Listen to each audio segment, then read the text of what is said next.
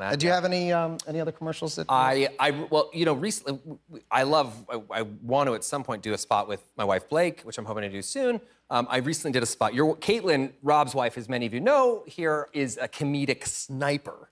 Uh, she's, yeah, incredible.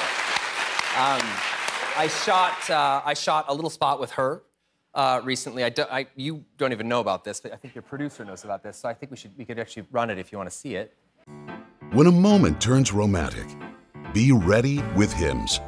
The fact is, 52% of men over 40 will experience some form of erectile dysfunction, so treating it is nothing to be embarrassed about.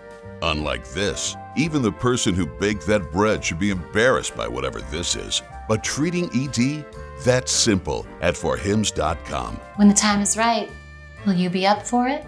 Visit forhims.com today for a free consultation with a healthcare provider.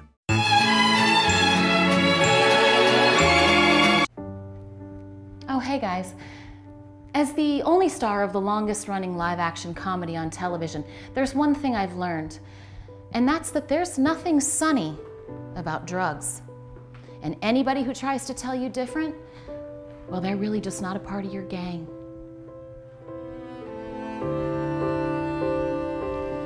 To be clear, I mean illegal drugs, because some prescribed drugs are obviously okay.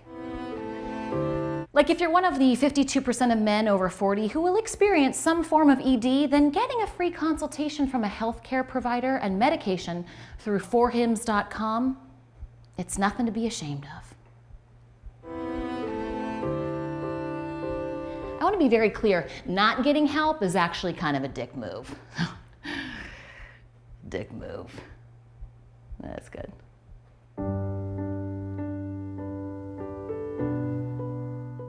When I met Bob, I thought he was one of the funniest people I'd ever met. Oh, yeah. We fell in love immediately. And one of the reasons is because Bob is so thoughtful. When I learned that more than 50% of men over 40 will experience some form of erectile dysfunction, I thought, where's the shame in acknowledging and treating that? Right. And the fact that he cares enough about us to do that is what I love most about him. that and my hats, right? Sure. Visit forhims.com today for a free consultation with a healthcare provider. Hello, men, you magnificent idiots. Let me fill you in on a little secret. No one cares if you use ED meds in the sack. The fact is, ED will affect more than half of men over 40 in some way, so being embarrassed for that is like being embarrassed for coming down with chickenpox. And that's stupid, so get over it. And go to forhims.com for a free consultation with a healthcare provider. It only takes a small amount of time. A perfectly decent sized amount of time. God, you guys are exhausting.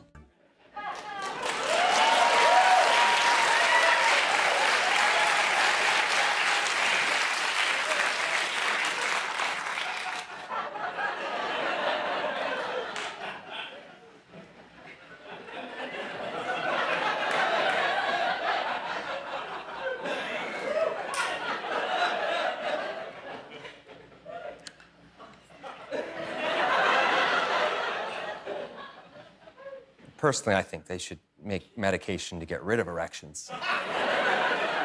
That's just me, though. Yeah.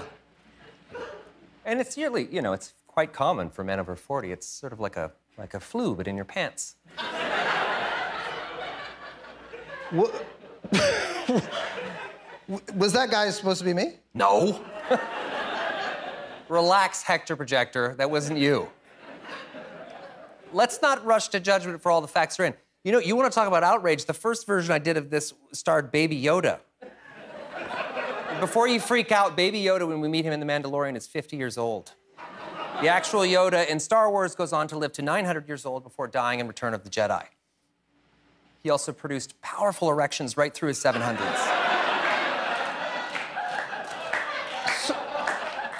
Then why didn't you use that one? Because he looks nothing like you. So it is supposed to be me.